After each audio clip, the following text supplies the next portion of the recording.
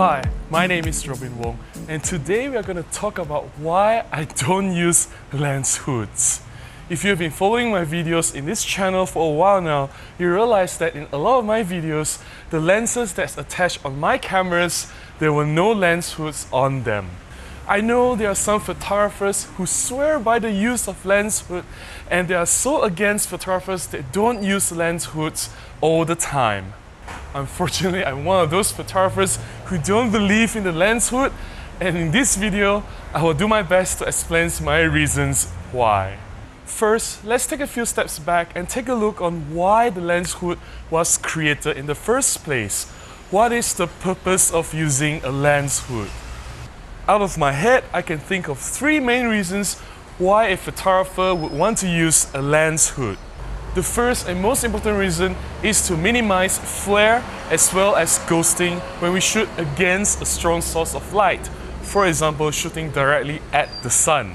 The second reason why we have a lens hood is to protect the lens in case we bump the lens onto something or worse, if we accidentally drop the camera, it's very high chance that the camera will land on the lens and if the hood is attached, the hood will be sacrificed. When the hood is destroyed, it protects the lens and the camera body from any damage.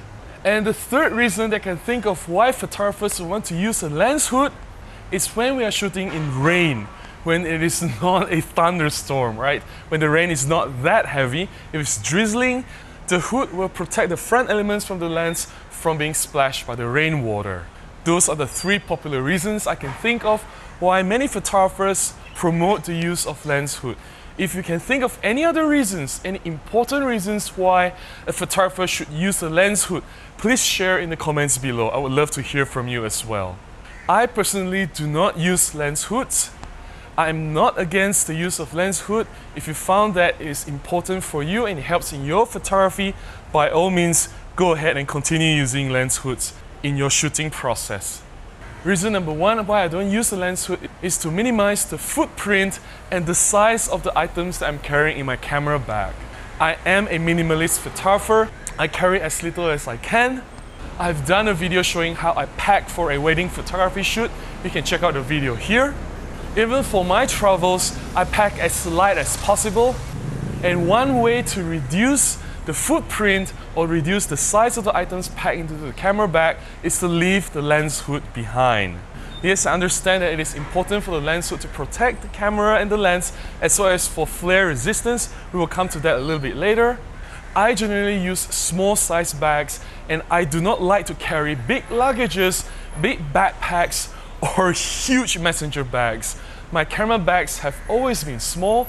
Sometimes when I go to street shooting, I only carry a very small pouch with one camera and two to three lenses. You know the Olympus, very tiny prime lenses, the 45 1.8, 17 1.8, and they all fit nicely together without the hood. If I were to bring the hood around, I would definitely need a much larger bag. Yes, keeping the size small, being extremely portable, it's the main reason why we use the Micro Four Thirds system in the first place. And having the hood attached on the lens, some lenses they have very large hood, mind you, that will definitely add to the bulk of what we have to carry in the camera bag. Reason number two why I don't use a lens hood anymore, I am specifically using Olympus OM-D system, the Olympus M Zuiko lenses. All the lenses have very strong flare resistance. Especially the new M Pro lenses, we have the zero coating on the lens and I have tested the lenses even against direct sunlight and found that the flare and ghosting control has been very reliable. In fact, it is very difficult to catch flare and there are only a few lenses that are very susceptible to flare, one of them being the 714 f2.8 Pro, and you don't even need to attach the hood on it, the hood is already built onto the lens. And honestly, even if I do catch flare and some ghosting in my image, it's not necessarily a bad thing. Flare, if done properly, can look very artistic and add creativity and drama into the photograph. I don't get flare 99% of the time, and if that 1% of the time when I'm shooting against the sun, I do get that little bit of flare, it is perfectly fine. Yes, if you want to completely get rid of the flare, if you want to minimize the chance of flare, do attach the hood. But for me, it's not a big problem. so I don't care about using lens hood. Reason number three why I don't use the lens hood is speed. I'm shooting a lot of fast action. I do wedding photography, I shoot event photography. I do street photography where things are moving constantly all the time. I have to move, my subjects are moving, everything is moving, and I have to move extremely quickly to get my shot. For my shooting style, I deal with a few lenses and I do change lens quite frequently. I shoot with prime lenses a lot. My favorite lenses are 45 1.8, 25 1.2. I need to change between these two lenses a lot. For my wedding shoots, sometimes I need to change to the 714 and the 40 to 150 f2.8 Pro is a must-have lens for wedding, event, and even portrait photography.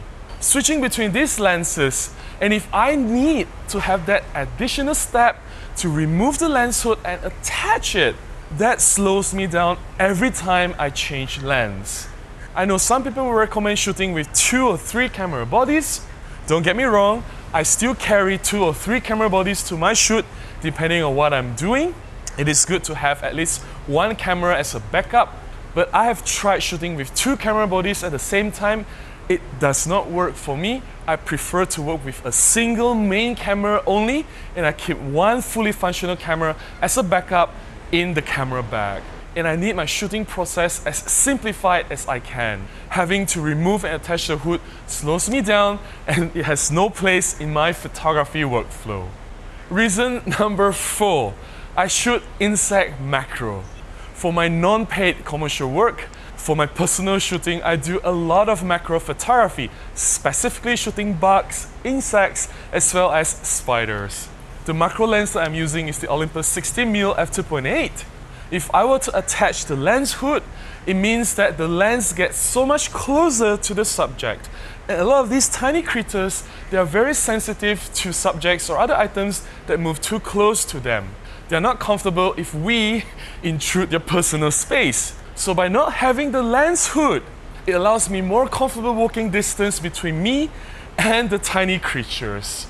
And the nearer I can get to my subjects, the larger the magnification, the better the macro photographs that I'm able to achieve at the end of the day.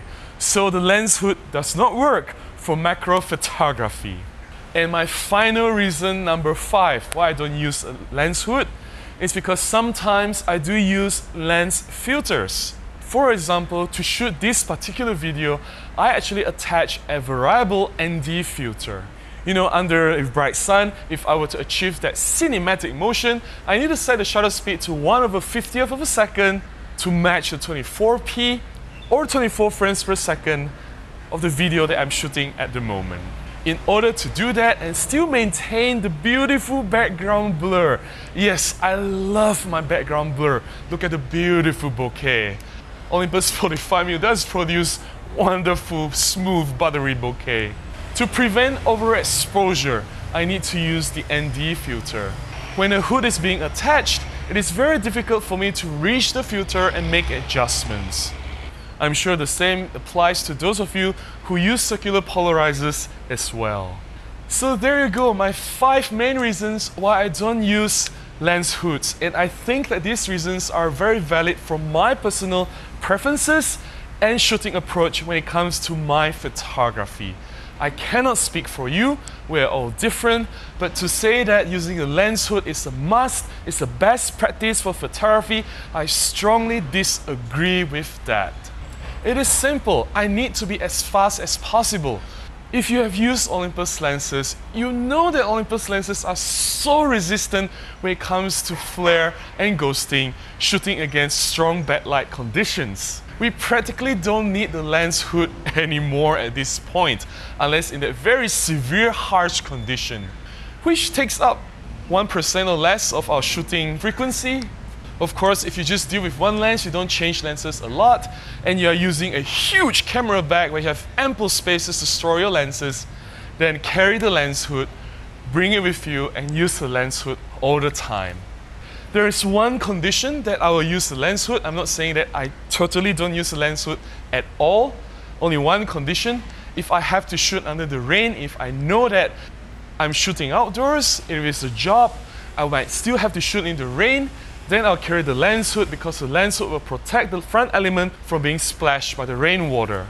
That is only one condition and one situation where I would consider using the lens hood. I know some of you will tell me that, hey, you know, Olympus is being stingy. They should have included the lens hood in every single lens that they produce. I'm not making excuses for Olympus. Don't get me wrong, I agree with you. I think that Olympus should put a lens hood, even if it's just a cheap plastic one, in every single lens that they produce. So tell me, do you use lens hood in your photography? Do you think that it is an absolute must? And does it frustrate you or does it annoy you if you see some of your fellow photographer friends shooting the lens naked with no lens hood attached? I would like to hear your story.